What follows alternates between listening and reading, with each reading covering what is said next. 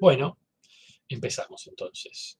El tema de la, clase de hoy, que es nuestro teórico número 8, es eh, el estudio de la acción política eh, de las clases explotadas en el marco de la revolución burguesa, del proceso de construcción, de, destrucción de relaciones sociales eh, feudales o precapitalistas, y la construcción de esas nuevas relaciones, en este caso capitalistas. Es un problema que va atado a lo que hemos visto en el teórico pasado sobre el estudio de las clases sociales, pero es un problema diferente. En el, teórico pasado, yo no recuerdo si es el teórico 3 o 4, hemos trabajado sobre cómo se estudian las clases, pero cómo se estudian las clases en, términos estructurales o, en términos, digamos, para decirlo más vulgarmente, en términos económicos. ¿sí? Siempre cuando pensamos en las clases sociales, pensamos en la clase como elemento de estructura y como vimos en el teórico pasado, cuando la clase acciona políticamente, ¿sí? que son dos cosas diferentes que no se deben confundir.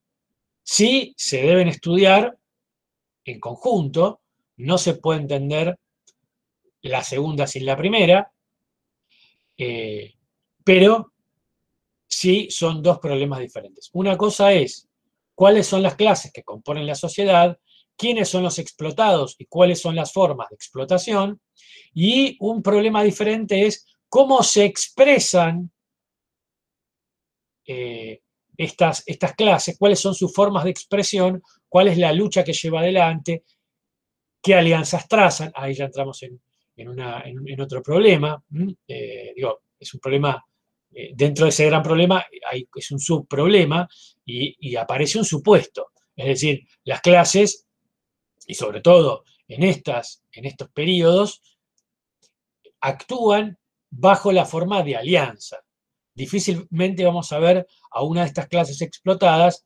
actuando en forma, por decirlo así, independiente, actuando sola, ¿sí? por varios motivos, entre, entre, otros por cuestiones estructurales, por problemas de la propia estructura, por, por problemas de su propia definición eh, eh, como clase. Eh, o yo agregaría su propia indefinición como clase. Y ahí me estoy anticipando. Pero bien, eh, si nosotros tratamos de, hacer una especie de historia de este problema, lo que uno tiene es que las primeras historias eh, nacionales en América no es que no trabajan este problema, ¿no? Siempre las primeras grandes historias, las grandes historias nacionales, como, las hemos visto hace dos teóricos, eh, son, son, la historia en general del nacimiento de una, de, una nacionalidad. Por tanto, son historias nacionalistas en el sentido en el cual están pensando en el nacimiento de un colectivo que se llama nación, eh, no como nosotros lo definimos, como una estructura política, sino como la propia forma de funcionamiento social. Vamos ahí. Eh, Mitre no está pensando en el nacimiento del capitalismo argentino, está pensando en el nacimiento de la argentinidad. Para, Mitre, como para los otros autores nacionalistas, eh, como, digamos, digamos Lucas Alamán, por ejemplo, eh, la, la nación conforma una sociedad, una forma de sociedad en sí misma, ¿sí? Y aquí se lo liga en algunos casos a un esencialismo como cristiano, en otros casos al republicanismo o a la ciudadanía. Pero eh, es eso lo que, están, lo que están buscando. Entonces, lo que hay es más bien una unificación del conjunto de las clases sociales en una sola categoría, que es la categoría, digamos, nacional. Ahí está entrando alguien.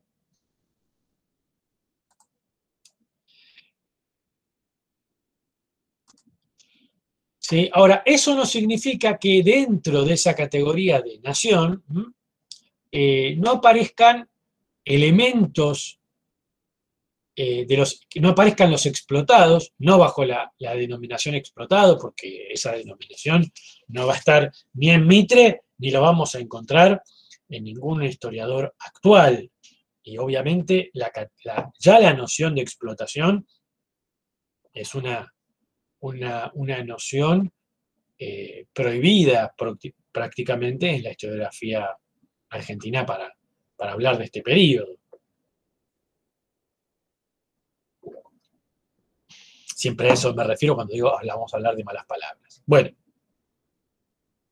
Pero sí aparecen estas clases bajo otra forma. Si uno se pone a pensar en Mitre, la primera imagen que nos aparece es la del negrito falucho. ¿sí? La leyenda del negro falucho en Perú. Y cómo el negro falucho muere por la bandera. Y es interesante porque muere en Perú, ¿no? Eh, muere en Perú defendiendo qué? Defendiendo qué nacionalidad. Eso aparece muy difuso en Mitre y en realidad tiene que ver con la, dificultad de conciliar una revolución que tiene un carácter clasista y por lo tanto internacional, con una idea propia de la segunda ya mitad del siglo XIX, que es la formación de una nación. Mitre está buscando el inicio de la formación de una nación, pero en realidad se encuentra con una lucha de clases, que se que se expresa a nivel internacional. Y por lo tanto, no hace distinción entre fronteras que no existían en ese momento y que tampoco, eh, y que tampoco estaban definidas, es decir, estaban por definirse. Bien. La cuestión es que en, en estas historias nacionales aparecen las clases explotadas bajo, en algunos casos, como en el de, el de Mitre, bajo la forma de, eh, de apoyo incondicional, en otras formas, en otros, perdón, en otros, en otros casos aparece bajo la forma de, indistinción, la idea de eh, tanto pobres como ricos querían lo mismo, en otros casos aparecen bajo una forma mucho más pasiva, pero, eh, digamos, eh, pero con consentimiento. El consentimiento aparece bajo la forma pasiva en el caso, por ejemplo, de Vicente Fidel López. En otros casos ya eh, aparece, en casos más atrás, digamos, aparece bajo la forma de, de amenaza, como es el caso de Sarmiento, donde ahí eh, los explotados aparecen bajo una forma de amenaza.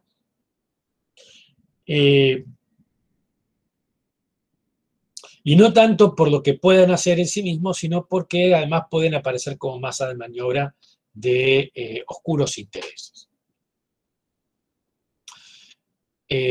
pero, digamos, no es que entonces que las clases explotadas no aparezcan eh, aparecen con un carácter, digamos, eh, muy, muy exótico, por decirlo así, por un, carácter más bien eh, curioso, o bajo una, unificación, un consentimiento o, como vemos, como amenaza. Pero también en, en, el caso, por ejemplo, de la de la historiografía eh, venezolana, o colombiana, pero sobre todo venezolana, la figura de Bolívar es la que, la que concentra el conjunto de la atención y aparece eh, esta idea de Bolívar como un dirigente también popular que aúna, aúna diferentes eh, clases sociales y gente digamos, más exaltada, como Páez, podría ser Páez, por ejemplo, eh, aparecen, eh, digamos, más, eh, más marginados. en México el problema toma otro cariz porque la nacionalidad está asociada a un levantamiento con eh, una, referencia plebeya casi eh, ineludible, como es, eh, digamos, sobre todo Bartolomé Hidalgo, más que Morelos, digamos, la, nacionalidad mexicana aparece más fuertemente sobre el grito de Dolores, por sobre incluso la, conspiración de Querétaro, pero eh, aparece ese, elemento fuerte, ¿no? Es decir, eh, no, no, hay una, una, una, liturgia nacionalista apoyada en Agustín de Iturbide, ¿no? Es decir, la liturgia se apoya fuertemente en, en Hidalgo. Y bueno, eso va a ser un elemento de confluencia muy grande entre los, eh, los escritores de la, de la burguesía, los escritores más nacionalistas mexicanos, y los escritores, digamos, que van a querer ligarse eh, con la clase obrera, ¿no? en torno a esta figura de Hidalgo, muy diferente probablemente de eh, la, idea por ahí de, Bolívar o Belgrano, ¿sí? Que aparecen las figuras este, de Caracas o de, Buenos Aires. Em, esto, digamos, aparece en, la historiografía. Esta historiografía, eh, estos, digamos, estos estudios van a tener un giro. A mí me parece que yo quería hacer el, hacer la, tomar el caso de la Argentina, porque me parece que eh, el caso de la Argentina, estos estudios toman un giro muy importante en un periodo tan temprano como el siglo XX, en los trabajos de Juan Álvarez. Los trabajos de Juan Álvarez que, a mi juicio, eh, anticipan eh, los anticipan investigaciones que se van a dar en la década del 20 o del 30, eh, en el caso de Francia, ¿no?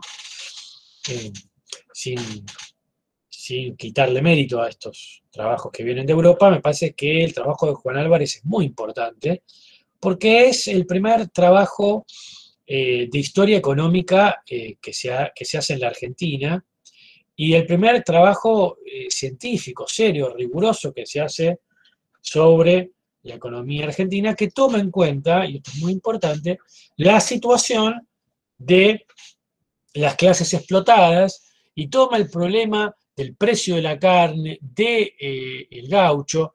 Obviamente tiene algunas, algunas categorías que difícilmente puedan aplicarse a ese, momento, eh, pero sí hay una, y obviamente tiene algunos elementos de, algunas hipótesis un poco lineales, pero, y esto me parece importante, es el primer trabajo eh, en Argentina que se ocupa de estas clases explotadas, de pensar el problema de la acción política de estas clases explotadas, eh, y que busca entender esta acción en función de una totalidad, es decir, tratar de entender su eh, lugar en la estructura, la evolución de ese lugar en la estructura, sus condiciones de vida y por lo tanto sus reivindicaciones en la movilización.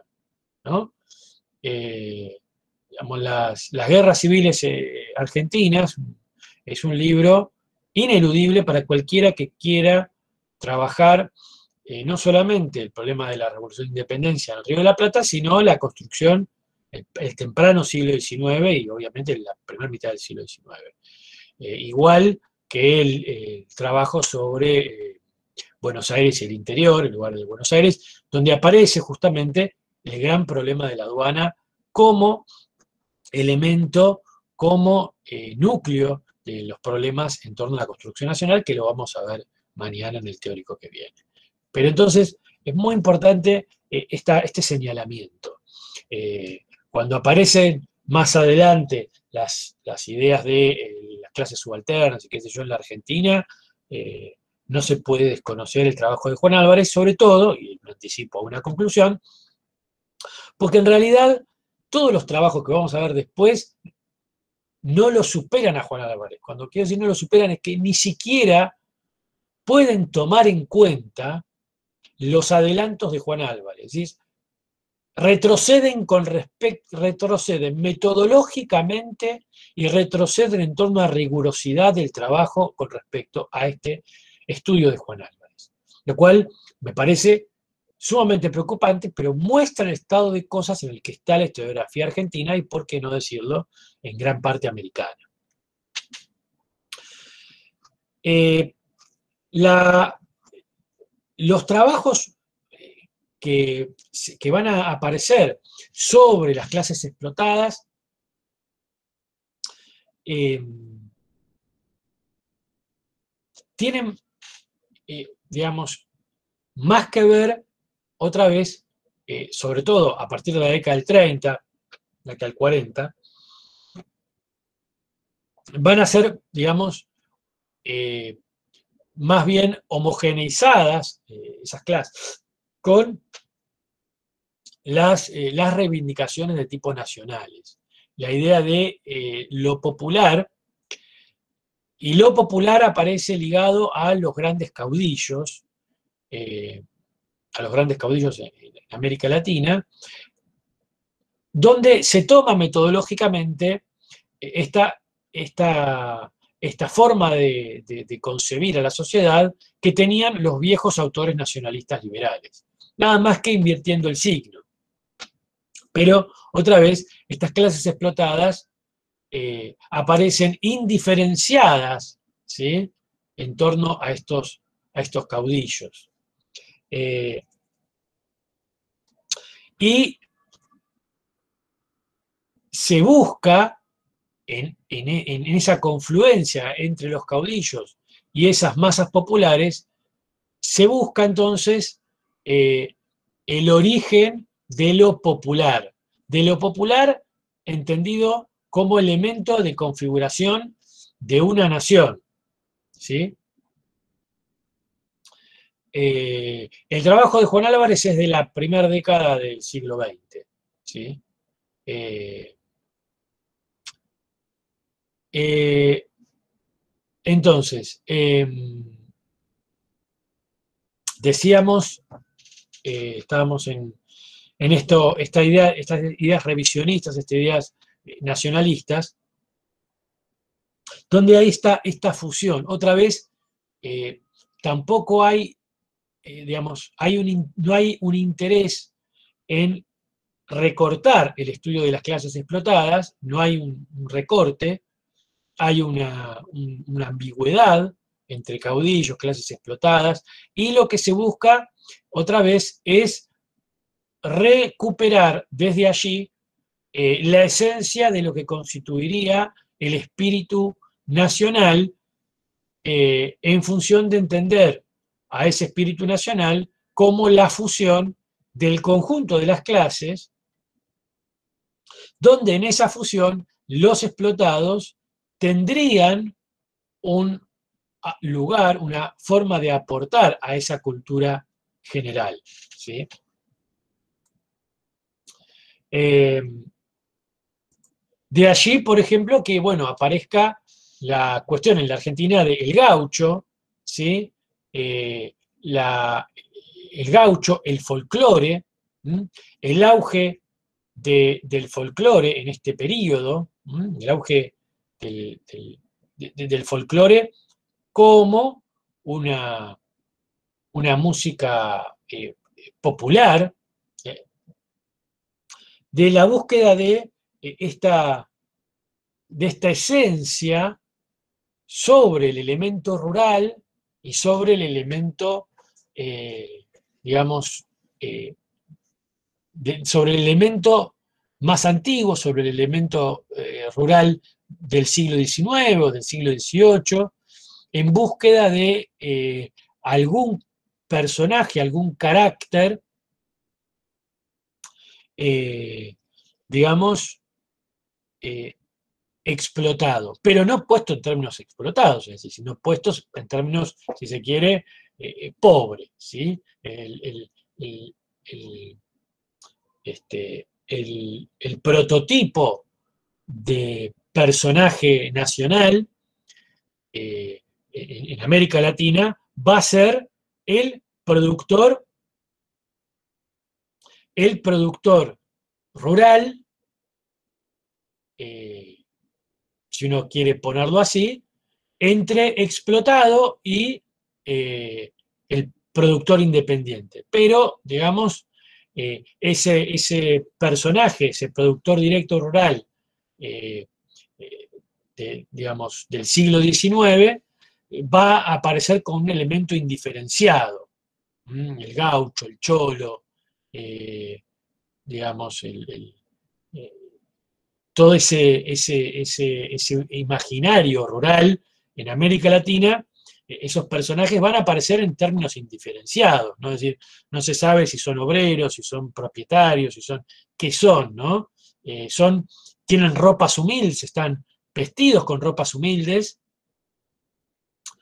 eh, parecen tener que apelar al trabajo directo, es decir, no viven del, trabajo ajeno, pero queda en una, digamos, en una nebulosa si es un explotador o no, no queda muy claro, ¿no? Eh, porque en, en, parte esa es una operación para difuminar las relaciones de explotación, ¿no? Y crear una especie de tipo generalizado. Ahí María Gauna es de la intervención cultural de la que habla Sartelli, y no lo sé, de cuál hay muchas. Supongo que Eduardo habla de muchas intervenciones, no sé de, cuál estaría este, apareciendo.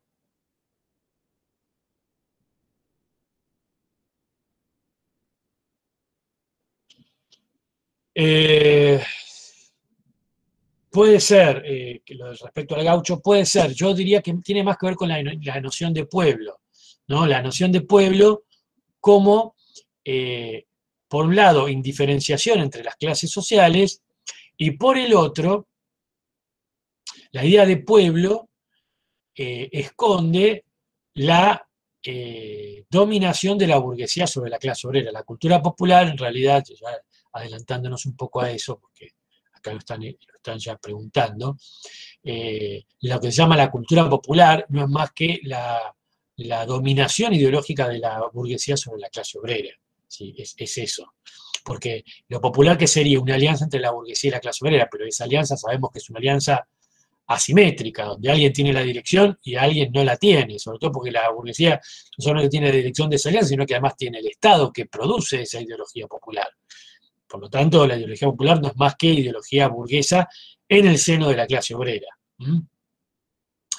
Eh, acá se pregunta, el enfoque de indiferencia entre caudillo y clases explotadas también se enmarca de Peña. Bueno, pasa con de Peña que de Peña, eh, digamos, eh, lo que dice es que, digamos, las clases explotadas, digamos, no son manejadas a Piacere por los eh, caudillos, y que los caudillos tampoco quieren demasiado, ¿no? Es decir, Mercedes tiene una, Mercedes Peña es tributario de la mirada de Alperín. Eh, acá muchos no utilizamos a Mercedes Peña, pero porque me parece que es superfluo. ¿Superfluo por qué?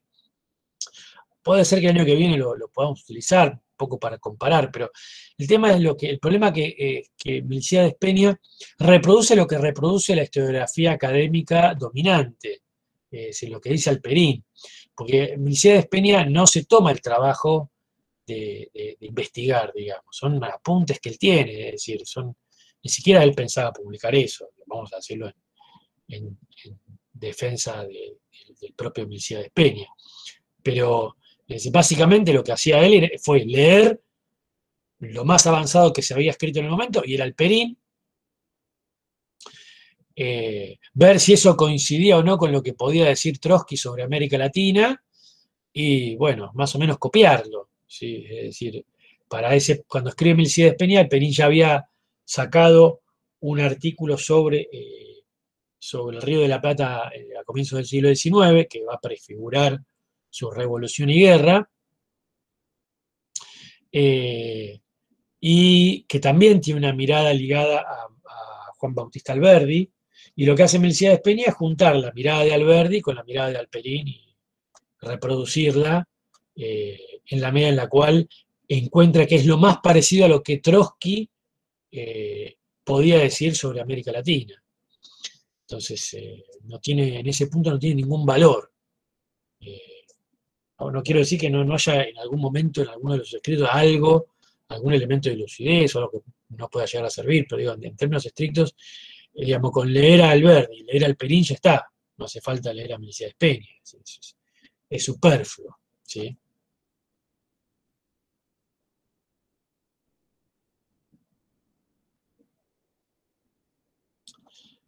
Sí, acá este, Valentín habla de la operación selectiva para la formación de símbolo nacional, que une a los explotados con una pasión en común con los explotadores es tan artificial que eligen a Martín Fierro cuando antes lo habían vilipendiado, eligen además al gaucho derrotado, no a Juan Moreira. O sea, la figura de unión entre explotadores y explotados es una figura derrotada.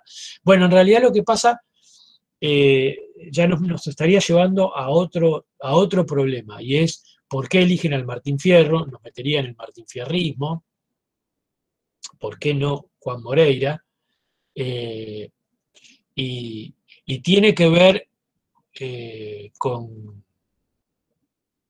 con, cuestiones, a ver, que exceden simplemente esta cuestión del gaucho derrotado o, el gaucho triunfador. Eh, no tiene que ver exclusivamente con eso. Martín Fierro eh, está escrito en un lenguaje diferente al de Juan Moreira, está escrito, digamos, es una poesía gauchesca muy sencilla, con una métrica muy fácil. Eh, Juan Moreira tiene una prosa, es una novela. Martín Fierro tiene un elemento popular muy fuerte.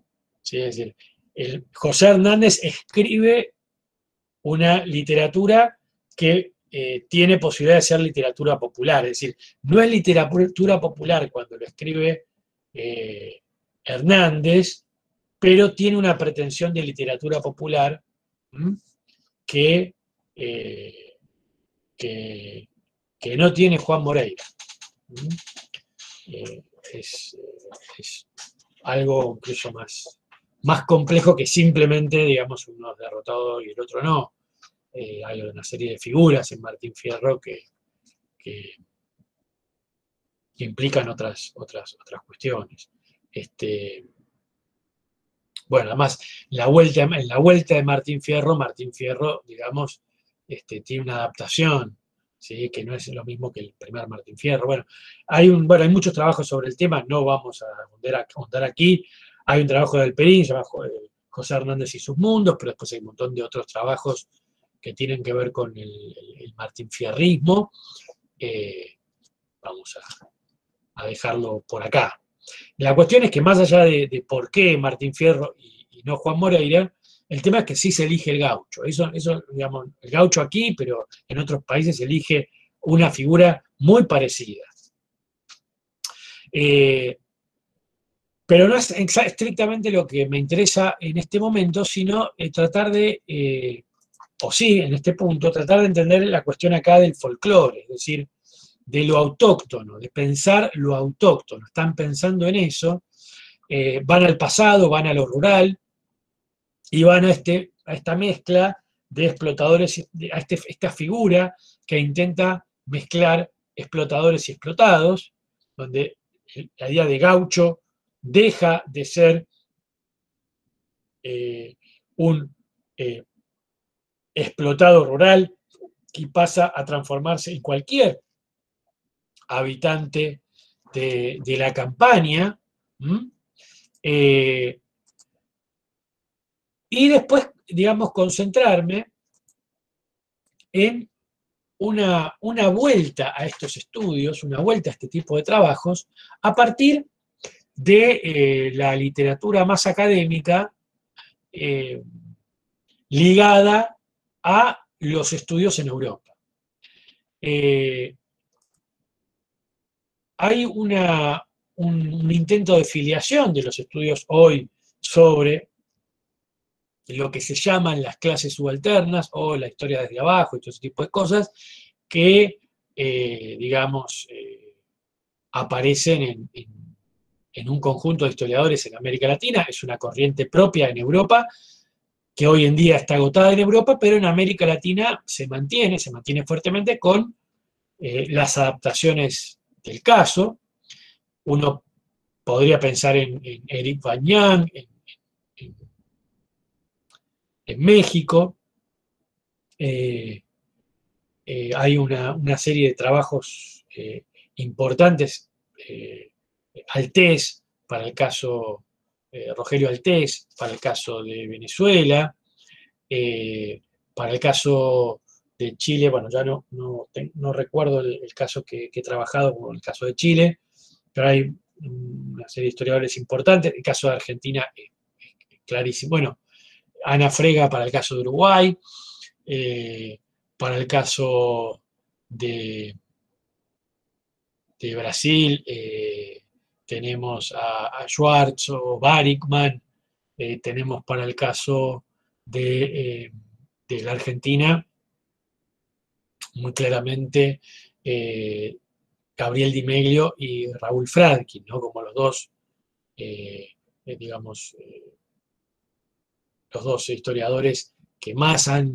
trabajado sobre estas cuestiones y que más reivindican este tipo de, historia llamada desde abajo, que engloba cosas muy diferentes. habría que ver hasta qué punto los que quienes ahora dicen pertenecer a esa tradición realmente pertenecen a esa tradición o en realidad, eh, aún con las críticas que se puede hacer a esa tradición, los historiadores actuales eh, más bien están ligados al giro lingüístico y, ojalá pudieran adolecer de las dificultades que tiene la corriente de historia desde abajo, es decir, eh, se puede decir incluso retrasan con respecto a eso. Pero bueno, para poder, eh, eh, digamos, poner en juego todo esto que yo estoy diciendo acá y que estoy anticipando, tenemos que tratar de entender cómo vienen estos, estos, estos debates. La idea es hacer un recorrido de estos debates también y después plantear una serie de problemas. Sobre el caso de Colombia, la verdad es que no, no, recuerdo algún caso, digamos, para, Colombia. Si el caso, bueno, Rogelio Alteza ha trabajado el caso de Bolívar tanto para, para Colombia o lo que era Nueva Granada como para el caso de Venezuela. Eh, estoy nombrando los más importantes, pero sí, seguramente eso habrá dejado una, cola de una una escuela, digamos, eh, de historiadores que habrán retomado ese, problema. Eh, bien, eh, decía,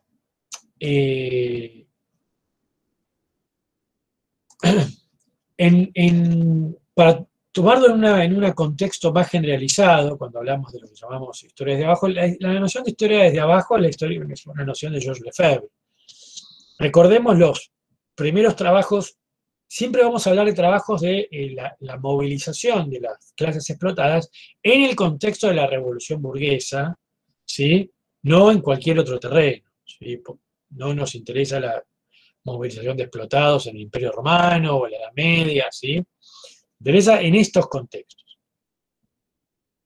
Y en ese punto, eh, los primeros trabajos los trabajos más importantes sobre el, sobre el tema que han tomado una cuestión más rigurosa eh, y no simplemente anecdótica, eh, son los trabajos de Georges Lefebvre ¿sí? sobre los campesinos eh, del norte durante la Revolución Francesa del, año 24, el tema de el, precio de la vida en los movimientos sociales, el movimiento social en el periodo de terror, de Albert Mathieu, de 1927, eh, los trabajos sobre los precios en el Franco Condado durante el siglo XVIII, de la Bruce, que son, digamos, los primeros, en la década los primeros trabajos importantes. Eh, sobre México, además de Banyan, eh, quería me había olvidado, me había quedado con un bloqueo de los trabajos de Enrique Florescano. son trabajos ineludibles. Me parece que lo mejorcito que se ha escrito sobre México es eh, los trabajos de, Enrique Florescano. Bueno. Pero estos estudios tenían, digamos, eh, dos, digamos, dos particularidades. La primera es, eran estudios eh, iniciales que trataban de entender un aspecto de la Revolución Francesa y el otro lado, eh, eh, digamos, eran, eran trabajos eh, más bien de series económicas. ¿sí?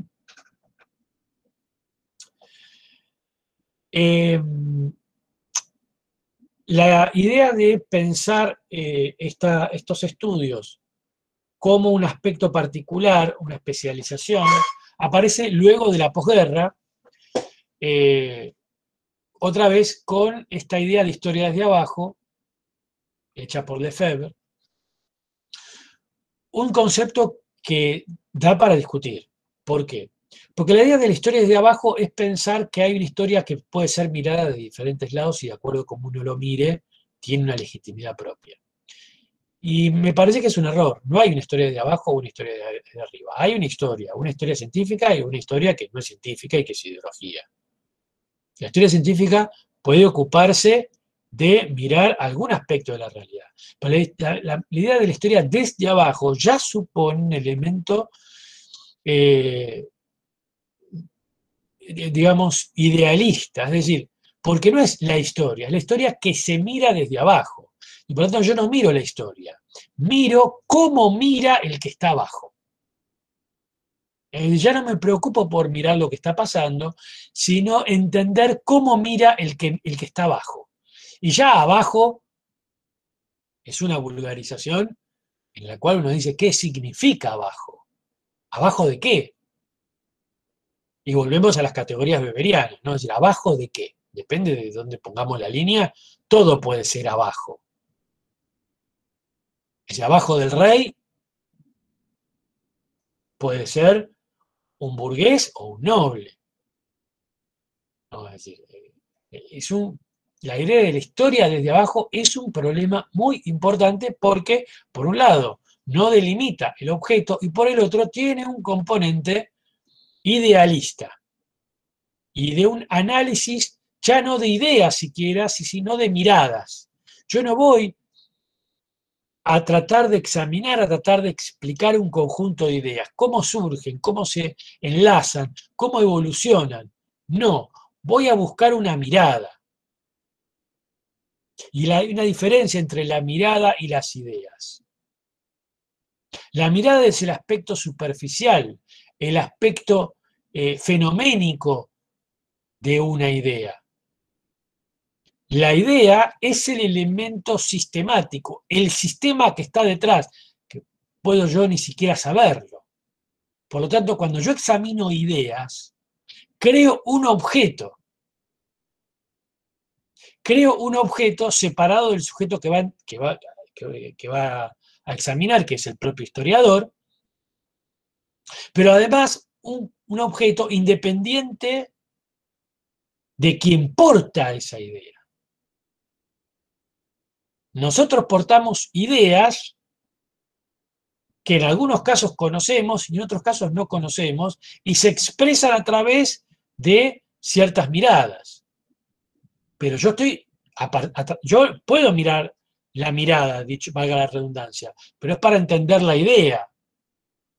Entender la mirada es simplemente relatar. Entonces, esta, ya esta idea de historia de abajo tiene un problema. Eh, pues bien, decía. Esta idea entonces de historia desde abajo eh, se inscribe, aparece, digamos, eh, como decía, en historiadores de, de la posguerra, como puede ser George Rude, Richard Cobb, Albert Sobul y, el más importante, eh, Edward Thompson. Edward Thompson es el gran este, historiador de, la historia desde abajo. Eh, hay libros emblemáticos, trabajos emblemáticos, ¿sí? Eh, el de Christopher Hill, ¿sí? El, mundo trastornado es la, traducción. World Upside Down, es el mundo trastornado de, Christopher Hill, que trabaja sobre el imaginario, las ideas de, eh, que aparecen en los grupos radicales de la Revolución Inglesa. Está el libro de Alberto, eh, sí, de Alberto Bull sobre los sans-culottes, ¿sí? Eh, el libro de Georges Roudet y Richard Cobb, La multitud durante la Revolución Francesa. son libros son trabajos que intentan explorar la ideología de los sectores más radicalizados en la revolución burguesa. Y eh, en algunos casos, bueno, son trabajos muy diferentes, no me quiero meter a analizar cada uno de esos trabajos porque nos llevaría tiempo, pero son trabajos diferentes, no, yo no pondría todos los trabajos en el mismo lugar, pero digamos que tienen eso, tienen esa, tónica de tratar de entender las ideas ¿sí? Eh, y el universo conceptual de, esos grupos. Eh,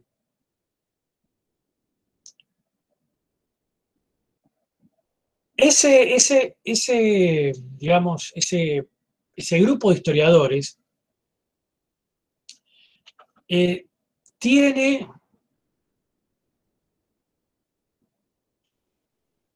una, una pretensión eh,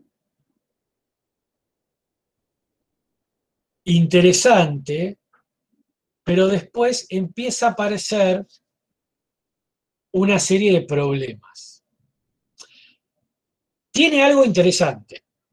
Lo interesante es mostrar que, eh, que la revolución burguesa no tenía una eh, concepción homogénea, que no era todo seguir a la burguesía, que los líderes que la burguesía ensalzó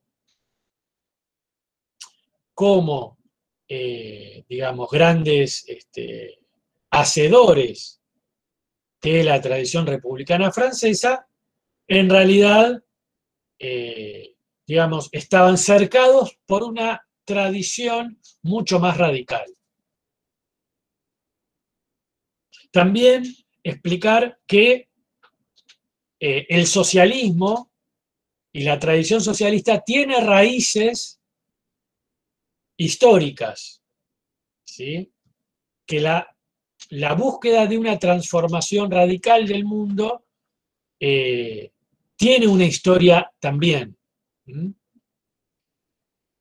Eh, y, aparece también la idea de que, bueno, no había un solo proyecto en la revolución burguesa, había también otros proyectos. ¿no? Eh, y la idea, y acá muy fuerte, de rescatar una tradición, si se quiere, plebeya, una tradición de los explotados, una tradición, ¿sí? Que luego va a ser, bueno, vamos a dejarlo acá, eh, esa tradición. Esta historia aparece enmarcada en algo que eh, se le llama el estudio de los grupos o las clases subalternas. Y junto con esta, estas, estos trabajos eh, aparecen, se los liga también a estos estudios con estudios sobre eh, el periodo de descolonización, sobre todo los estudios de eh, las sociedades en los países llamados subdesarrollados. Fíjense que Eric Hobsbawm eh, tiene un libro que se llama Rebeldes Primitivos, donde mezcla movimientos eh, precapitalistas con, digamos, movimientos rurales del México del siglo XIX o principios del siglo XX.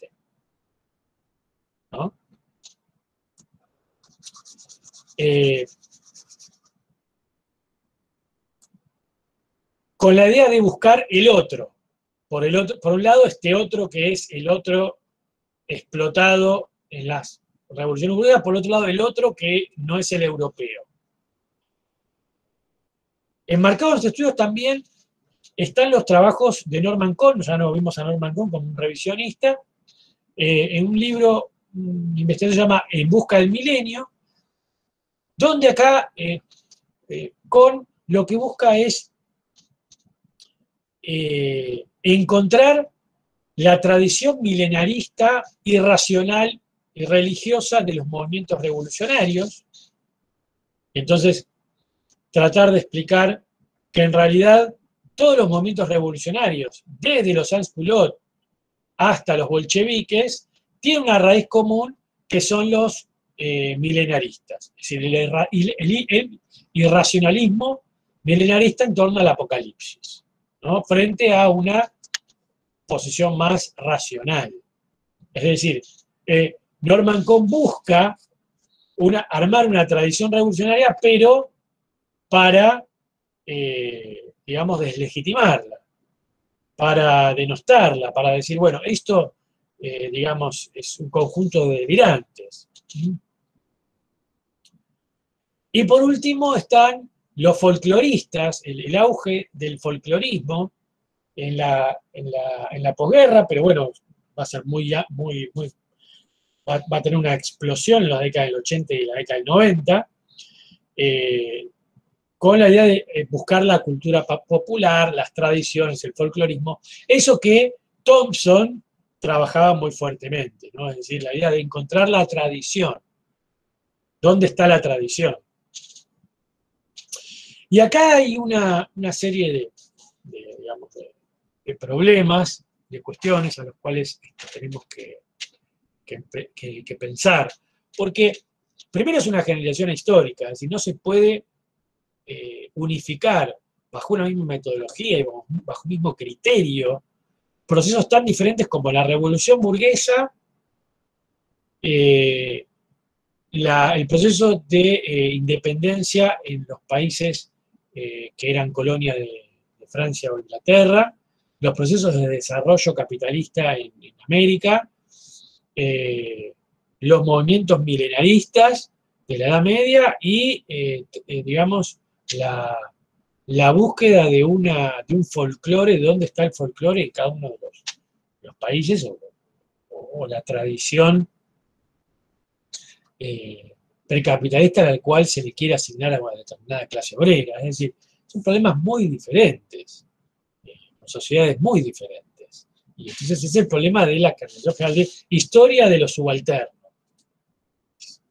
Era que es inmenso. Y esta historia de los subalternos, en lugar de trabajar, de, eh, en lugar de trabajar sobre algún aspecto o un problema particular, es más bien una mirada particular.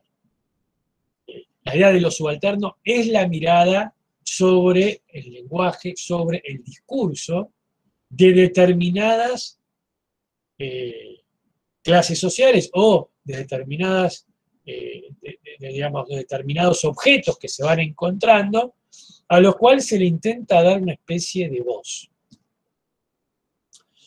Eh, y, digamos, acá eh,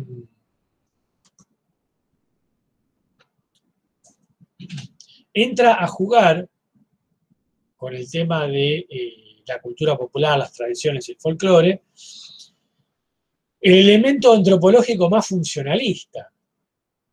Es decir, yo estoy buscando aquellos elementos que hacen que la sociedad funcione tal cual es, aquellos elementos que cumplen una función en la reproducción de la sociedad.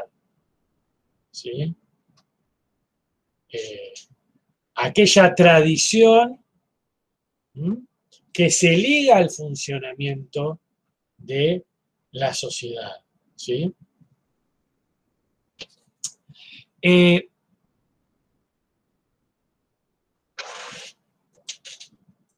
en esa eh,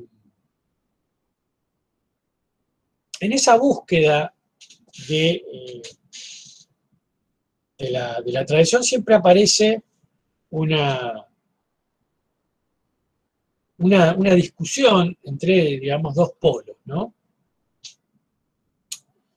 Eh, el polo populista y el polo reproductivista. Por un lado, el reproductivismo lo que dice es, bueno, eh, toda la cultura de las clases explotadas es la cultura de la clase dominante. No hay forma que, que, los explotados conformen una cultura propia. Y, digamos, de alguna forma, todos los estudios sobre el lenguaje, eh, todos los estudios sobre la evolución del lenguaje, la evolución de los conceptos, trabajan sobre esto, es decir, no se puede salir de acá todos trabajan con esto. ¿sí? Eh, eso es la versión, digamos, académica más, más que, conocemos. ¿sí? En la versión eh, más, eh, más sociológica o más antropológica tenemos a Foucault, a Bourdieu, ¿no? Con esta idea de no hay nada, el poder se reproduce a sí mismo, todos somos parte de la reproducción del poder, no hay nada fuera del poder. Obviamente no es muy difícil definir qué es el poder, pero esta es la gran definición, que como dije, en términos históricos, toma la forma del estudio del lenguaje, donde el lenguaje es producido por un sector letrado y evoluciona autónomamente. Pero eh, frente a esto, obviamente, eh, la idea del reproductivismo no me permite pensar la transformación y no me permite, eh, digamos, eh, pensar la crisis. El reproductivismo no, puede permitir, no me permite pensar la crisis. Eh, por el otro lado, tenemos el populismo. El populismo dice que toda la cultura de los explotados es una cultura autóctona, es una cultura propia, es una cultura creada por ellos. Obviamente eso supone que no hay ninguna relación entre la cultura de, la, clase dominante y de los explotados, eh, y además que no hay ningún trabajo de, eh, dominación. ¿sí? Eh, la, la gran pregunta es si esa creación es autóctona, ¿por qué los explotados son explotados y no consiguen tomar el dominio de la sociedad? Uno puede pensar que populista diría, porque efectivamente eh, no quieren otra cosa, están muy bien así. Eh, y por lo tanto, digamos, se limitan a, crear sus propias concepciones del mundo. Y nada más. Eh, obviamente, otra vez, eso desmiente y nos lleva de nuevo al reproductivismo. En, cualquiera de los dos casos, lo que no se ve ahí es la lucha por la conciencia, es decir, la idea del, desarrollo eh, de las ideas en términos de lucha de clases. Es decir, la lucha de clases también tiene expresión en la lucha por las ideas. Las ideas están en disputa. En disputa las ideas entre diferentes clases, incluso disputas de ideas y de programas dentro de una misma clase. Es decir, hay una serie de programas que están en disputa.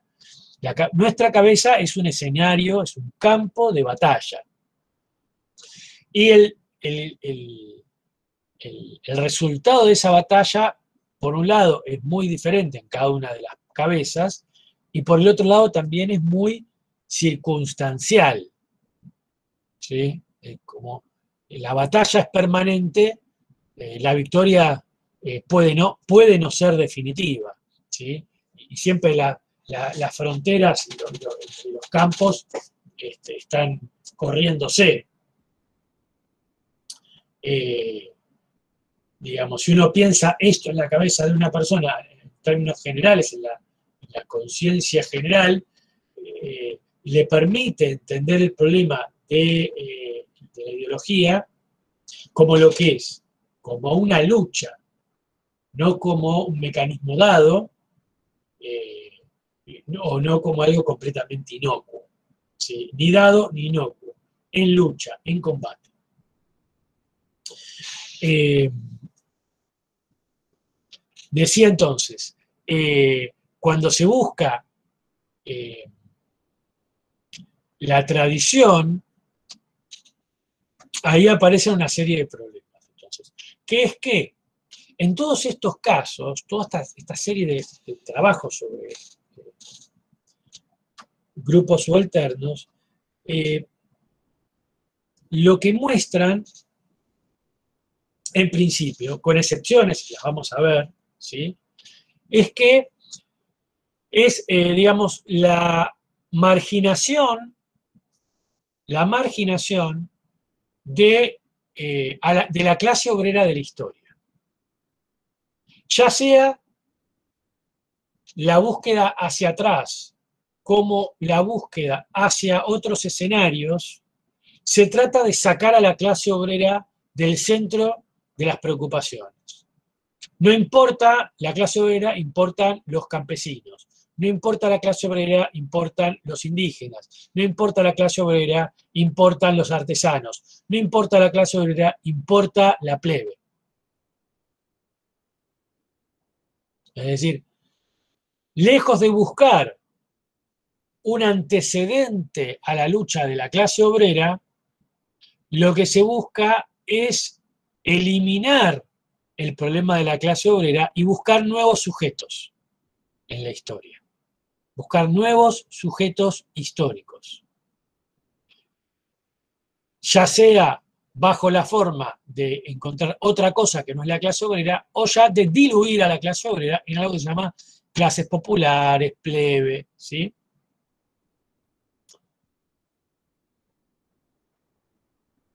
Alguien podrá decir, bueno, pero si no está formada la clase obrera, vamos a eso, vamos a ir a eso. Sí, vamos a ir a eso, porque es una buena pregunta. Eh, eh, profe, usted me está diciendo que eh, se quiere ocultar a la clase obrera, pero estamos viendo un periodo donde la clase obrera no existe. Yo podría, pondría en duda que no exista, pero es, una, es una muy buena pregunta. Es una muy buena pregunta. Porque ya sea que no existe, ya sea que existe, pero es muy minoritaria, obviamente es un problema. ¿Qué hacemos? No estudiamos la corrupción burguesa, eso no puede, no aparece ahí un movimiento obrero importante. Bueno, vamos a ese punto, vamos a ir a ese punto.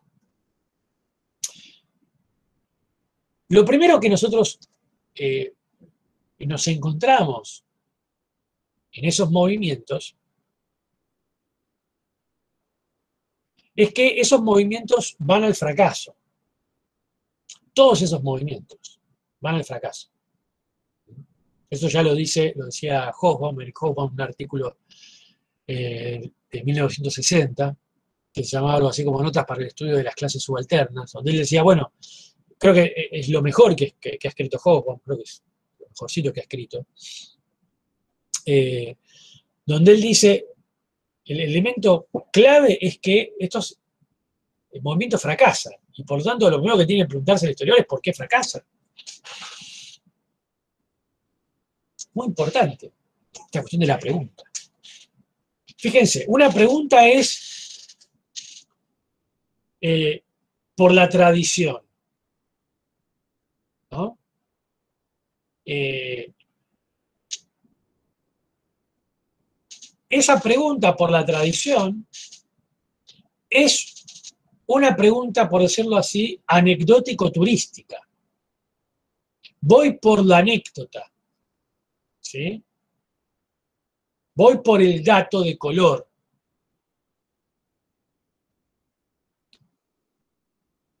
La otra pregunta es una pregunta histórica. Histórica en el sentido histórico. ¿Por qué fracasa ese movimiento?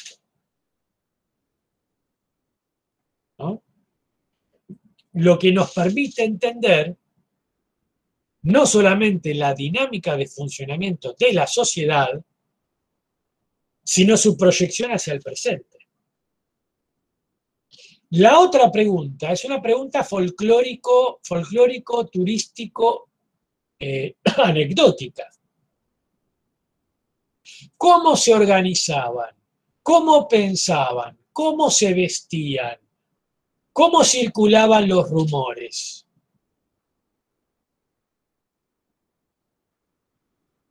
¿Me habla de la dinámica de la sociedad? ¿Me habla de la dinámica del conflicto político de ese momento? ¿De la dinámica del proceso revolucionario? Digo, cuando digo de la dinámica me refiero al corazón de esa dinámica. Eh, ¿Cómo se vestía la gente? Y sí, me habla de la dinámica, porque en ese momento la gente se vestía rápido y usaba sacos no muy caros porque seguramente se le iban a ensuciar. Bueno, esa no es la dinámica del proceso. No, se juntaban en tabernas y ahí hablaban. Esa no es la dinámica del proceso revolucionario. Esa es una dinámica particular. Entender por qué los enrayé solo así. ¿Por qué Hidalgo? ¿Por qué Morelos? ¿Por qué Páez? ¿Por qué este, eh, en la revolución de los orilleros? ¿sí?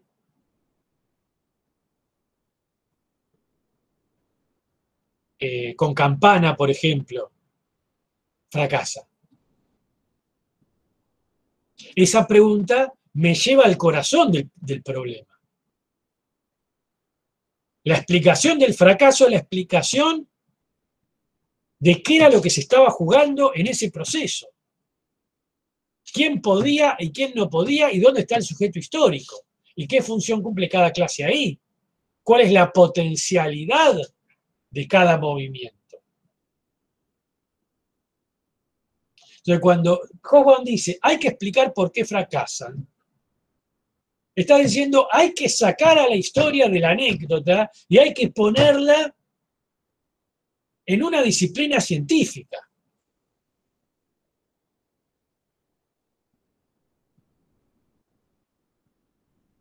Entonces, ahora bien, el problema es que la cuestión de entender por qué fracasa puede llevarnos, si no lo planteamos bien, a una vuelta al funcionalismo. Fracasan porque los mecanismos de cohesión social son más fuertes que los disruptivos.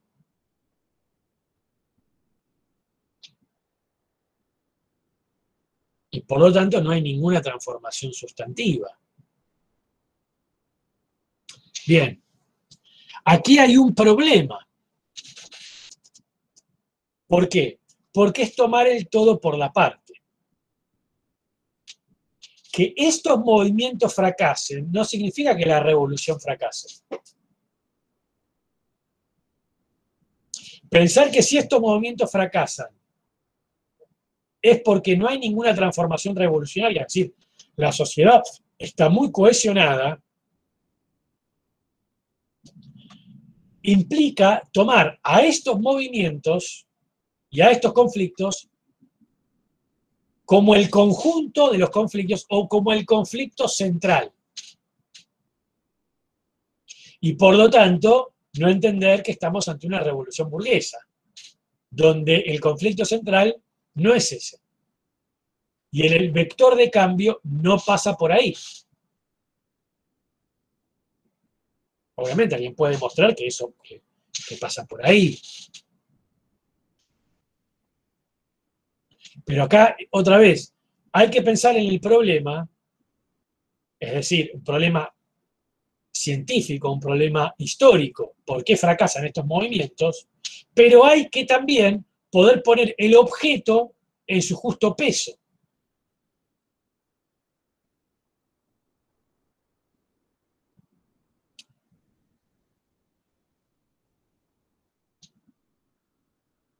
Entonces, eh, estos movimientos suelen fracasar, suelen fracasar. ¿Por qué? Suelen fracasar eh, por varios motivos. Un primer motivo es porque no pueden expresar, mejor dicho, el primer motivo es por que eh, la alianza no expresa, primero porque no, expresa ninguna clase en particular, sino una alianza. Segundo, porque estos movimientos componen alianzas eh, cuyo contenido es muy variable. ¿A qué me refiero? Me refiero a que esas alianzas tienen un componente muy heterogéneo, que, digamos, depende también de donde estemos, ¿no? Si no vemos las alianzas que traza Bolívar, digamos, sobre todo en la Segunda República, con las alianzas que traza este, Hidalgo, o las alianzas de Morelo, o las alianzas este, que traza eh, Saavedra, o que traza eh, Torrego, es decir, hay, hay una cantidad ahí de, problemas eh, muy diferentes. Son alianzas diferentes. Pero, ¿qué es lo que puede, que uno dice, bueno, ¿qué unifica esas alianzas en términos analíticos? Primero que es muy heterogénea. Es decir, se conforma de clases muy diferentes, desde artesanos, una pequeña burguesía rural, eh, un proletariado en formación, esclavos, ¿sí? Eh, artesanos creo que lo dije, eh, es decir, elementos muy variables, con intereses muy diferentes.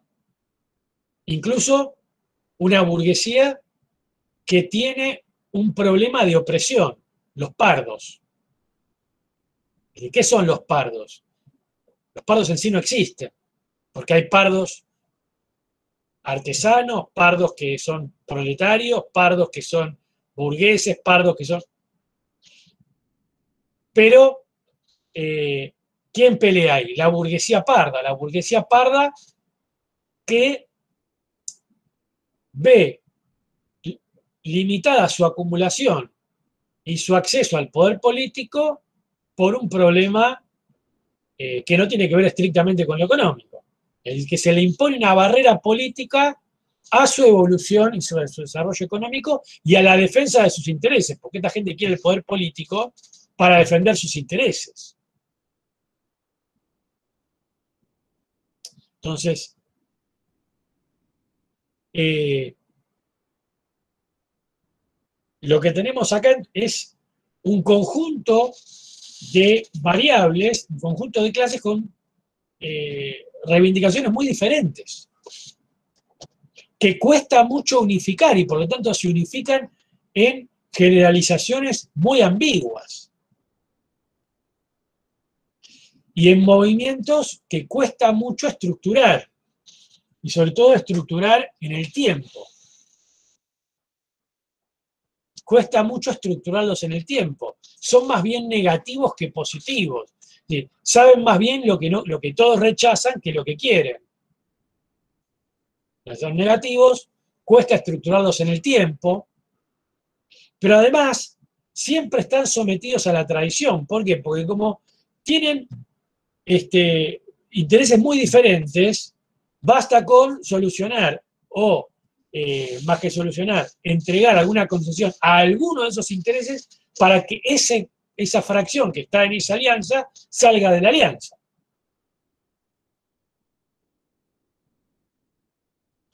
Y por, y por último, este también es un elemento muy importante para entender los movimientos,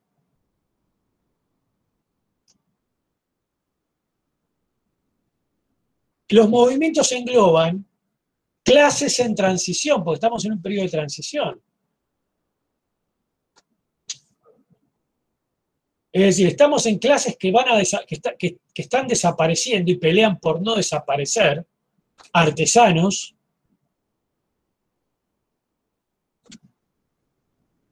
eh, eh, líderes de comunidades, curacas, es líderes de comunidades que van a ser proletarizadas. Eh, eso por un lado, es decir, clases que van desapareciendo y clases que se van formando. Pequeña burguesía rural, la burguesía, la burguesía rural y urbana, la clase obrera. Es decir, tenemos un escenario de, descomposición y, y, construcción de relaciones sociales, o sea, de clases. Clases que están desapareciendo, clases que se están creando. Entonces cuesta ahí entender, o cuesta ahí, mejor dicho, expresar un interés general. A eso se le suma también que en ese contexto de de destrucción y composición, y en un contexto de guerra revolucionaria, se suma lo que ya vimos, que es la promoción de clase.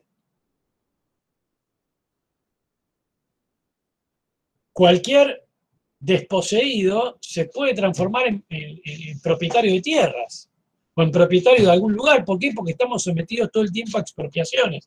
Fíjense eh, Hidalgo. ¿Qué hace Hidalgo? Se la pasa expropiando haciendas. Y entonces, ¿con qué criterio? Con esos criterios sumo gente. Hidalgo llega a sumar 60.000 personas. Obviamente, llega un momento en el cual la burguesía eh, criolla dice, no, paremos con esto, y se forma un frente de propietarios. Todos los propietarios contra Hidalgo, incluyendo los propietarios comunitarios.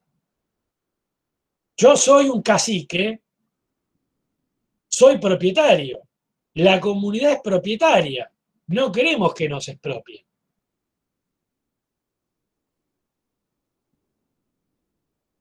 Entonces, estos movimientos tienen esa cuestión.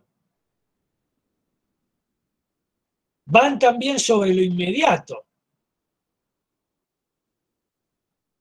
Se tienen algunas cuestiones más generales y tienen algunas cosas que van sobre lo inmediato.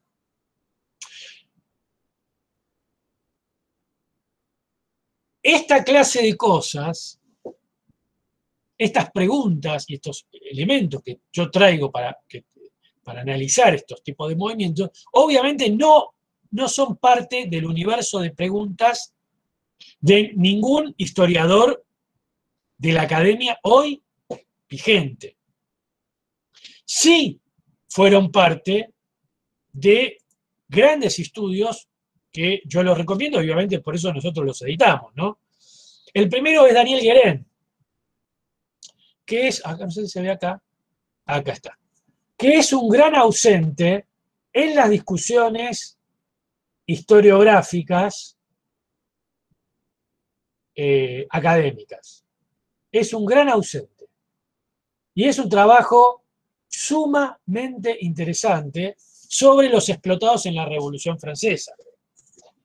Otro trabajo muy interesante y prácticamente desconocido es este de Eric Tarlet, La clase obrera en la Revolución Francesa. Acá tenemos todo el libro, acá está el libro. También es un trabajo muy interesante con este tipo de problemas en la cabeza. Y por último, hay, más, pero yo quiero hablar de clásicos. Este clásico que casi no necesita presentación, que son los jacobinos negros de C.L.R. James, ¿sí? Es altamente recomendable y ahora vamos a ver por qué son estos trabajos muy importantes. Porque estos trabajos explican varias cosas que tienen que ver con por qué eh, son importantes estos eh, entender eh,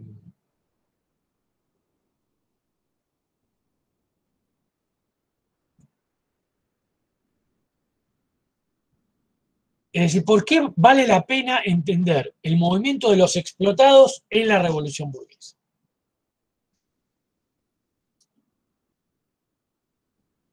La primera cuestión es, el sujeto de la revolución burguesa es la burguesía. Si uno quiere entender el elemento, uno quiere entender una revolución burguesa, tiene que ir a buscar la burguesía y ver la acción política de la burguesía. Porque estos, digamos, es la primera cuestión que uno tiene que entender. Ahora bien, estos movimientos tienen una importancia. Su importancia no radica en buscar una tradición para la clase obrera, porque en realidad hay un punto en el cual la tradición, digamos, que mejor le viene a la clase obrera es la tradición de los que ganan para entender cómo ganan y por qué ganan. Entonces, la clase obrera tiene que aprender de los que ganan, no de los que pierden. Si uno quiere la clase obrera llega al poder y haga la revolución, tiene que explicarle cómo ganar, no cómo perder. Y en este caso, en el caso de la revolución burguesa, los que ganan son los burgueses. Entonces, bien haríamos en aprender cómo hizo la burguesía para tomar el poder. ¿Sí? Eh, entonces, ese es el, primer elemento. No quiere, eso no quiere decir que se pueda reproducir la revolución burguesa en la revolución obrera tal y cual sucedió. Simplemente eh, que hay ciertas enseñanzas. En segundo lugar, sirve para entender justamente que fue una revolución burguesa, el carácter burgués de la revolución. ¿Por qué? Porque hubo otros, otras clases explotadas que fueron reprimidas. Hubo otras clases explotadas que tenían que, sus reivindicaciones propias. Hubo otras clases explotadas que sufrían la revolución burguesa. Y por eso querían, o se, opusieron, más bien, menos que oponerse, se opusieron a las consecuencias que acompañaron, en diversa medida, pero que luego intentaron imponer algún tipo de salida propia o, por lo menos mitigar los efectos nocivos sobre su propia existencia.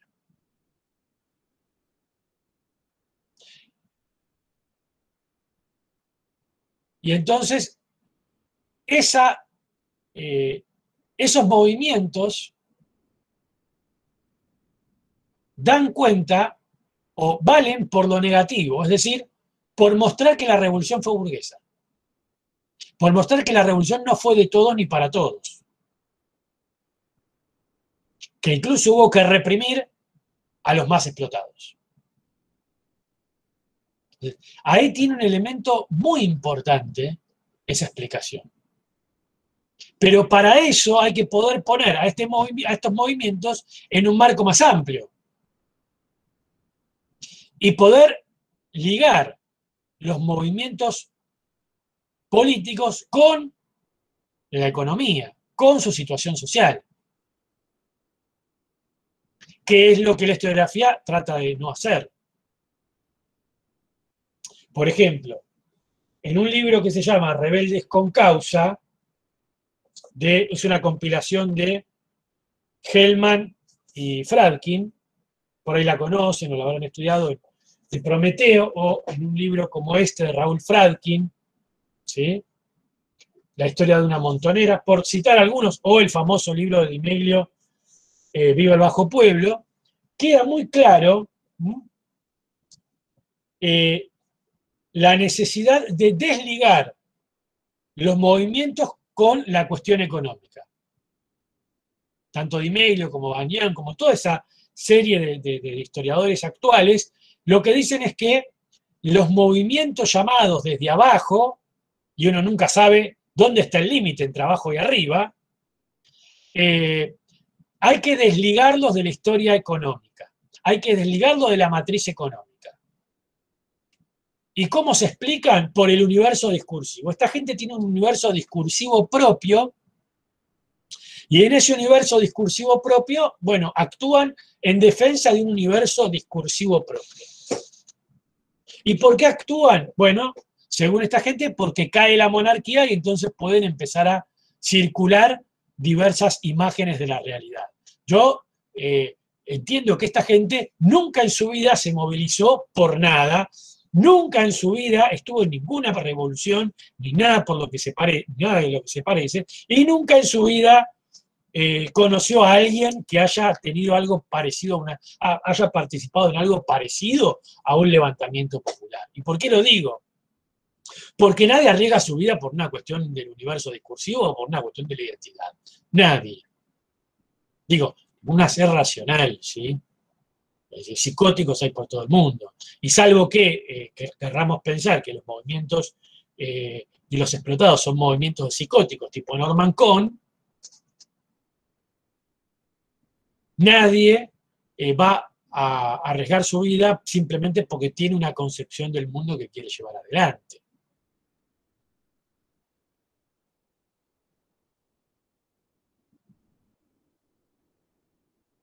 Es decir, eh, y mucho menos a un nivel general. Uno puede tener una convicción muy fuerte e ir, incluso eh, eh, ser muy consecuente con esa, con esa, esa idea y arriesgarse, pero los grandes movimientos no. Nadie arriesga lo poco que tiene, o incluso su vida, por esas cosas.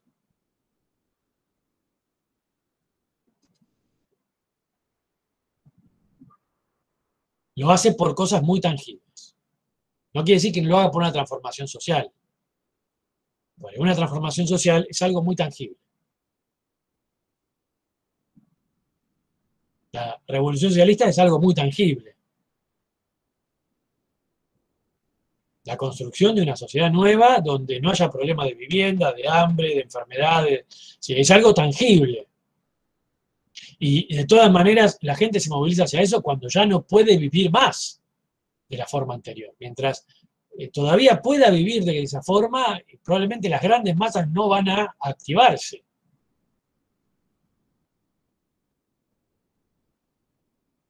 Entonces, una fracción se moviliza por un programa concreto. La mayoría se moviliza porque no puede aguantar más como vive y ve eso otro concreto como viable frente a una, vida inviable. Entonces, la primera cuestión que hay que analizar, porque, porque es movilidad, son las cuestiones de cómo vive esa gente. Entonces, eh, es muy importante eso. Entonces, la, la cuestión de por qué esos no triunfan, cuál es la diferencia y además cómo evoluciona. Porque en la medida en la cual ese movimiento va perdiendo su carácter gelatinoso, las clases se van formando y los problemas se van unificando, también va cambiando la característica de la movilización ya sea en su forma, ya sea en, lo que pide, en sus reivindicaciones. ya sea su contenido.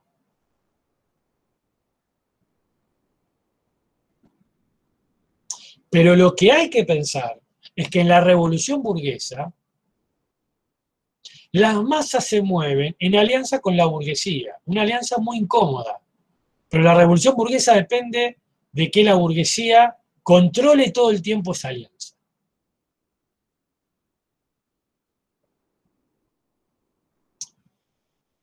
Y eso es un poco lo que aparece en estos trabajos. Es decir, cuando escribe Daniel Guérin, Daniel Guérin, cuando escribe este libro, ¿contra quién está escribiendo? Contra el Frente Popular. El Frente Popular del Partido Comunista ensalza a Robespierre y la alianza Robespierre-Sansculot. ¿Y qué viene a decir Guérin? Robespierre era un burgués que reprimió a los explotados, porque representaba la burguesía. Bajo la idea de pueblo, en los jacobinos, bajo la idea de pueblo, se escondía una alianza entre la burguesía y los explotados. Pero era una alianza incompatible. En algún momento se tenía que romper. Y se rompe porque Robespierre termina reprimiendo las expresiones de los explotados. Y obviamente eso lo debilita y termina en termidor. Pero más allá de eso, Robespierre tenía, eh, perdón, Robespierre, Daniel Guérin tenía una intervención muy interesante con un problema real. ¿Qué hay detrás del pueblo? ¿Qué hay detrás de la política popular de los jacobinos? Dos clases. Una formación, un proletariado en formación y una burguesía, que van en alianza, pero esa alianza se agota. Se agota porque se tenía que agotar, porque el desarrollo de unos y otros los enfrenta. Y eso termina en Graco. ¿Se entiende? Ahí hay un programa pertinente. Lo mismo CLR James. El, trabajo de CLR James, los jacobinos negros, es fantástico. Porque ese trabajo, a 50 años de distancia, muestra como amateur a todos los historiadores de la clase, de las llamadas, los llamados grupos subalternos o desde abajo los muestra como amateurs. Primero porque, según esos historiadores, todo empieza en 1808 y acá tenemos una revolución que arranca en 1791. Segundo, porque hace ver a todos los levantamientos que muestra Franklin con las montoneras o, o, con, con los milicianos como verdaderos chistes frente a un grupo de esclavos en una alianza que toma el poder político y pone al conjunto de América en vilo hablando de esta revolución. Entonces, un historiador serio tiene que decir, a ver, ¿por qué no se dio esto? ¿Por qué no se dio esta revolución? ¿Por qué? ¿Cuál es la diferencia entre este movimiento y este otro? Quieren hablar de historia de... Bueno, acá tienen, acá hay una revolución. Con los límites. Porque la revolución de Haití termina pidiéndole a los plantadores que vuelvan. Termina pidiéndole a los plantadores que vuelvan. Porque efectivamente los esclavos no portaban en sí mismos un nuevo sistema social lo que se imponía en Haití era el desarrollo capitalista. Entonces, eh, me parece que el estudio de, de, las, de las clases explotadas, y no digo subalternas, digo explotadas, ¿y por qué no subalternas? Subalternas son explotadas y oprimidas políticamente. Subalterna es la alianza que lleva a la burguesía a la revolución burguesa, es decir, la burguesía y los explotados. En algún momento hay que poner un límite a la acción política de los explotados. Y uno piensa en Termidor, en Napoleón, en Cavour, en Italia, eh, uno piensa en, en, Rivadavia y piensa en Rosas, en el, en el, Río de la Plata, ¿sí? Eh, en el, propio Bolívar, ¿sí? o Santander, en el caso de, Venezuela o, Colombia. Eh, pero, o bueno, Porfirio Díaz, ¿sí? Eh, pero, digamos, eso lo vamos a ver la, la, clase que viene, pero hace falta ese momento, eso lo vamos, vamos a ver.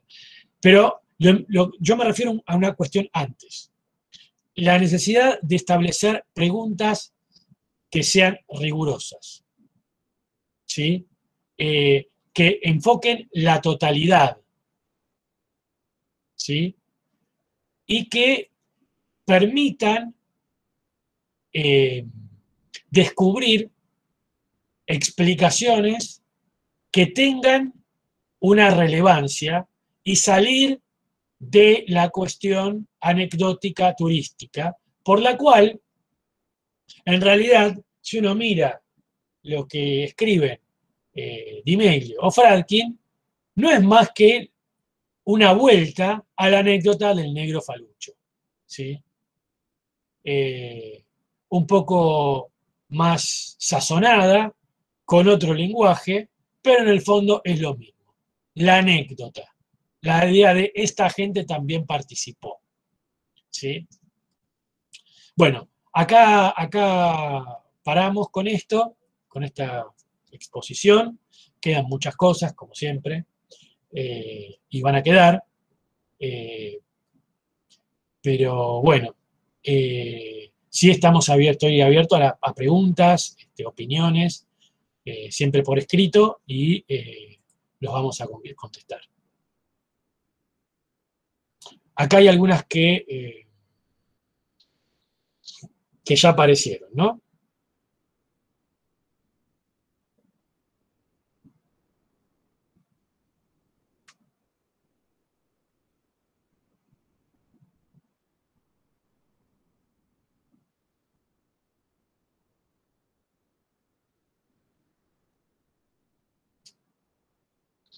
A ver, acá hay una pregunta.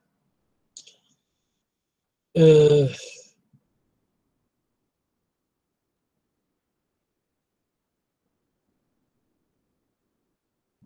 eh, hay situaciones que funcionan como caldo de cultivo para una formación propia de los explotados de una visión del pasado. No entiendo ahí qué se quiere decir. Gramsci dice que el resurgimiento es precisamente ese espacio común de fermentación política para el desarrollo posterior de fuerzas que lleven a la unión nacional. A ver, hay que, hay que distinguir entre el lenguaje que utiliza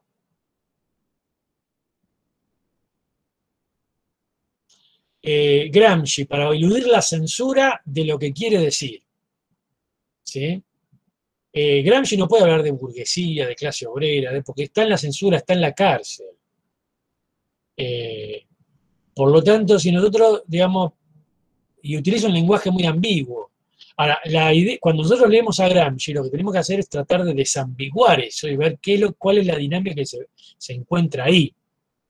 Entonces, eh, Gramsci, eh, acá yo leo, dice, Gramsci dice que el racionalismo es precisamente el espacio común de fermentación política para el desarrollo de, fuerzas que lleven a la unión nacional. No, Gramsci lo que dice es, que el resurgimiento es la revolución es la forma que toma la revolución burguesa en Italia. Y lo que dice es que la eh, burguesía, en términos estrictos, no puede operar de la misma forma que funciona en Francia.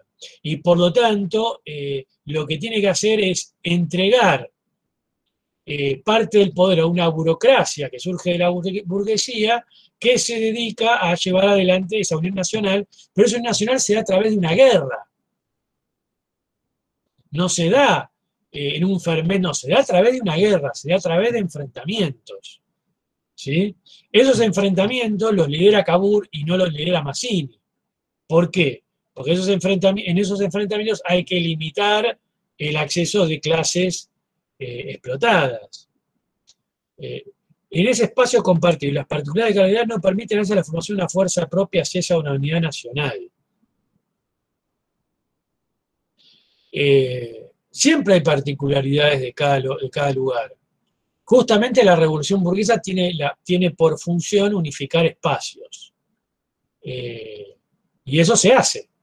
Es decir, Italia para 1870 unifica su espacio. La Argentina para 1860 unifica el espacio.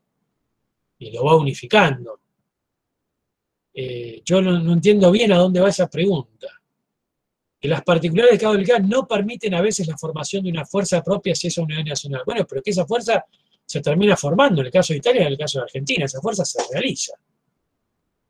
Y esa, fuerza y esa unidad la realiza una fuerza una fuerza particular. ¿sí?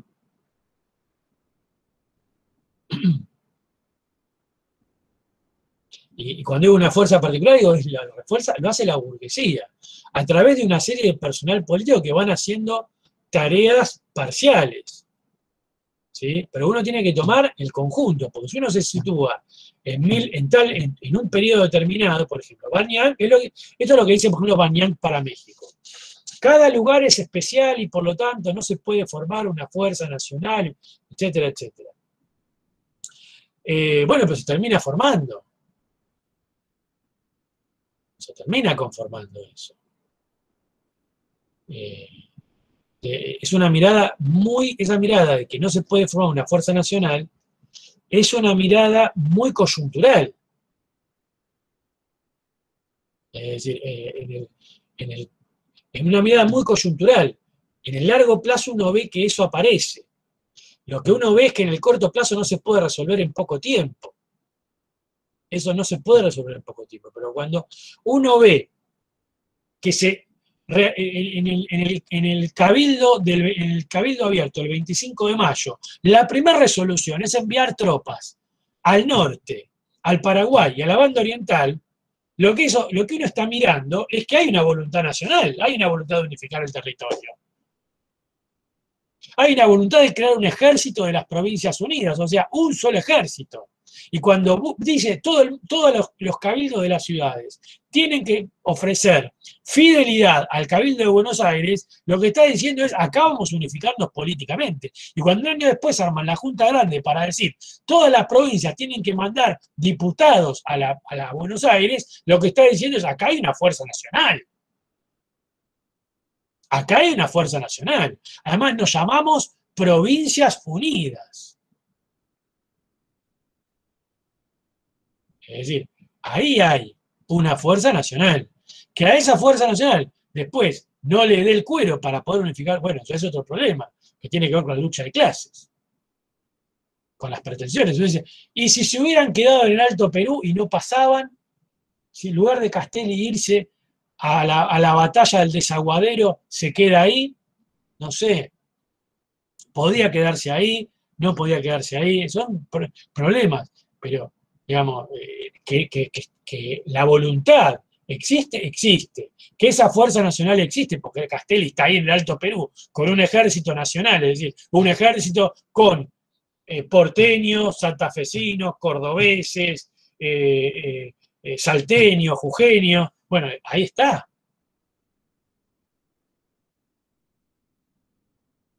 Que eh, establece una ley para cuando dice vamos a abolir el, tributo indígena, es una abolición para todo ese espacio, e incluso para el espacio que todavía no es de ellos, porque pretenden abolirlo también en el, en el Bajo Perú, bueno, ahí hay una fuerza que excede lo propio, lo regional y la cosa más inmediata. Y ahí volvemos a ese problema. Volvemos a ese problema. Eh, digamos, si uno eh, eh, agarra a Buenos Aires y Caracas, ¿qué es lo que encuentra? Que en principio las clases explotadas son convocadas a pelear por la burguesía. La burguesía toma el poder y después le dice, vení y peleá. ¿Y la alianza en qué se suelda? La alianza se ensuelda en cosas muy, muy contantes y sonantes. Te doy plata, te pago un sueldo para que vayas. Te doy tierra. Te dejo que saques lo que, lo que vayas a saquear. Y hay gente que no quiere ir, obviamente. Bueno, eso ustedes lo van a ver eh, ya en el práctico con el texto que yo tengo cuando discuto con Dimelio. Porque ahí aparece la discusión. Cuando esta gente no quiere ir, dice, no, yo no quiero. Y si voy, pagame. ¿Qué está diciendo? ¿Vos querés una alianza conmigo? Perfecto. Pero esa alianza la tenés que soldar, algo me tenés que dar. Porque yo sé que esto es para vos, no es para mí. Estas cuestiones es la que eh, hay que medir, que obviamente no, no mide de medio, ¿no? Después, otra ¿Cómo buscamos la visión propia del pasado si no hay posibilidad de desarrollo del actor social que debería elaborarla? Tampoco entiendo esa pregunta. No hay una visión propia del pasado. Hay una visión científica del pasado. ¿No? No hay posibilidad de desarrollo del actor social que debería elaborarla. ¿Elaborar quién? El que tiene que elaborar esa mirada del pasado es el historiador, no el artesano de ese momento. Porque además el artesano no la puede elaborar. Si no la elabora en ese momento, el que, la que elabora es el historiador, el historiador elabora esa mirada. ¿sí? Eh, el desarrollo, no, el desarrollo de ese actor, ese, actor pues, o esa clase no se va a desarrollar. O sí, la clase obrera que aparece ahí se va a desarrollar. Otras clases van a perder. Sí, pero esa alianza no tiene futuro. Esa alianza no tiene futuro, y es lo que el historiador es, la principal conclusión. No ganó porque no tenía futuro, entre otras cosas. Y porque el antagonismo social, el antagonismo social con posibilidad de transformación de la sociedad, estaba en otro lugar. No se puede equivocar, ¿no? Pero en términos generales lo que uno ve esos procesos es eso. Alguien puede encontrar otro proceso donde esto no sea así. O puede buscar dentro del mismo proceso y encontrar que no es así. Pero para eso hay que hacerse estos planteos, encontrar estas cuestiones y unificar los, las, las, las variables de estudio de una sociedad y jerarquizarlas. Bien. Podría reformularlo primero. No, no entiendo ahí que se reformular qué, porque dije muchas cosas, perdón, dije muchas cosas y ya ya no sé qué es lo que me piden reformular, pero bueno, perfectamente lo haría, sí. Está muy difícil la elección de materias y su curso en el próximo cuatrimestre después de todo esto. Gracias. Eh, no sé a qué se refiere con que está difícil la elección de materias. Este, eh, bueno, de nada. Agustina me dice gracias, digo de nada. La inscripción es del 15 al 19, creo que sí. Eh, no, tengo idea, pero supongo que está en la página de la facultad. Eh, eh, parece que ya le respondí a Daniel. ¿Por qué fracasan estos movimientos? Claro, lo que yo explicaba, es decir, tratar de explicar por qué fracasan. ¿no?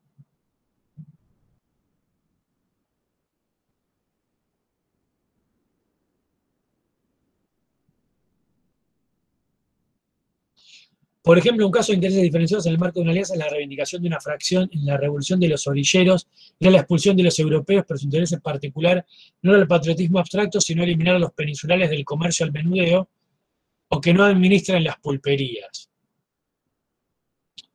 Eh, sí, eso puede ser. Puede ser. Sí. Eso hay que mirarlo bien eh, ahí, porque ahí eso puede tener que ver con, con, con, eso.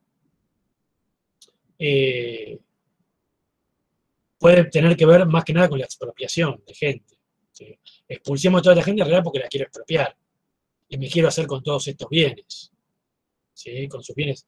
Cuando digo, digo peninsulares me refiero a todos y me, quiero hacer con, el comercio al menudeo, con el gran comercio, con el que tiene tierras, con el que...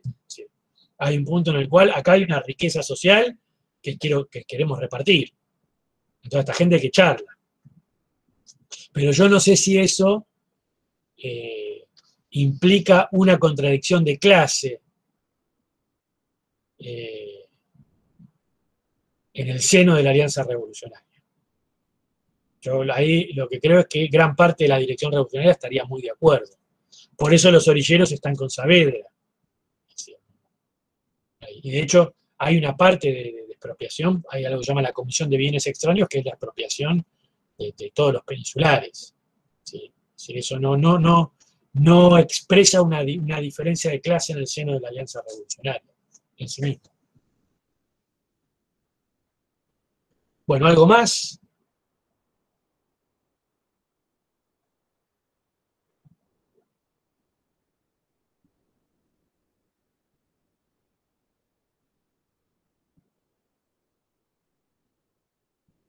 Sí, tenían un peso, sobre todo en Chile. En Chile tienen un, peso muy significativo. Eh, y, tiene que ver con dos cuestiones.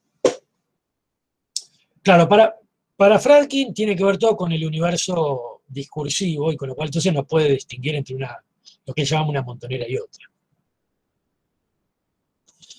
Eh, bueno, en Chile, las, las llamadas montoneras, más que montoneras, son los grupos, eh, las comunidades eh, que defienden la, se defienden a sí mismas de la revolución burguesa. La revolución burguesa viene a disolver a, las comunidades en, en, un mercado de tierras y en la construcción del ciudadano. Yo dejo de, responder a tal o cual pueblo eh, indígena y paso a ser un ciudadano. Entonces los caciques están en contra, por eso la mayoría de los caciques están en contra de la revolución. Que la revolución viene a terminar con relaciones precapitalistas. Y esta gente responde a relaciones precapitalistas y basa su poder en relaciones precapitalistas. ¿Sí? Eh, por lo tanto, este es el interés. Luego tiene, a ella tiene que ver con, eh, con elementos inversos. Por ejemplo, en el caso, por ejemplo, tomamos el caso de Venezuela, eh, y la reacción a la Primera República o a la República Boba. La reacción a la, Primera República es una reacción popular, en gran parte eh, eh, basada en, los, dirigentes de los llanos, en la llanura del Orinoco, y ahí sale Páez, que tiene que ver con la expropiación a los, a los, a los independentistas. Es decir, ¿qué le dice la, reacción, la contrarrevolución a esta gente? Vamos a expropiar a estos tipos. Eso por un lado. Por el otro te pago. Ellos te pagan, yo te pago. Por el otro vamos a expropiarlo. Lo que pasa es que esa expropiación eh, es, más viable para el caso de la revolución que para el caso de la contrarrevolución que es lo que pasa en Venezuela. Es decir, la idea de vamos a expropiar a todos los contrarrevolucionarios, sí, pero una vez que los expropiamos, las propiedades van para los peninsulares, no para los criollos, lo cual la, república, la, primera restauración se cae a pedazos. Y ya la, segunda contrarrevolución tiene que venir de, afuera con eh, Morillo, por ejemplo, en el caso de Venezuela. Pero en principio tiene, tiene esto, este, este elemento. Sí se apoya más, por digo, en las comunidades que en esos grupos a los cuales les ofrece la expropiación del grupo revolucionario. Porque ya con la expropiación del grupo revolucionario, la contrarrevolución entra en un terreno muy pantanoso. ¿sí? Entra en un terreno muy pantanoso. Eh, que es muy diferente a la reacción en Francia, por ejemplo, o lo que podría ser una, reacción, decir, bueno, vamos a recuperar estas propiedades para nosotros. Eh, pero bueno, esa es la, base de, la, de, la, reacción. O las bases, ¿sí?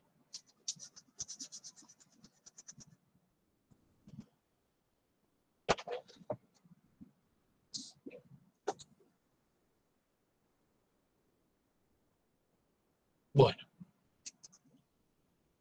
Bueno, eh, ¿Estamos bien ya de, preguntas? ¿Sí? Podemos dejar acá cualquier cosa. Cualquier cosa lo, lo, charlamos mañana. Si tienen alguna duda sobre esto, lo charlamos mañana. Mañana tenemos otra clase. Recuerden que mañana a las 8 va a estar conectado Germán, Germán Ibach, eh, investigador de la Universidad de San Luis, que va a, exponer en la cuestión nacional algunos aspectos de, eh, de la construcción eh, nacional en, San Luis, ¿sí? Y una crítica a, a, Chiaramonte. ¿Va bien? Bueno, un saludo para todos, espero que todos estén bien, espero que, sigan la materia, que puedan estar bien con, los textos, que puedan seguir los textos. Nos vemos mañana, cuídense. Eh, no, mañana a las 7. Nosotros empezamos a las 7 mañana. ¿eh? Mañana empezamos a las 7. A las 8 se conecta Germán para exponer la parte de San Luis, nada más, ¿sí? Bueno, eh, nos vemos entonces mañana a las 7, a las 7, ¿sí? Un abrazo y que estén, que estén todos bien.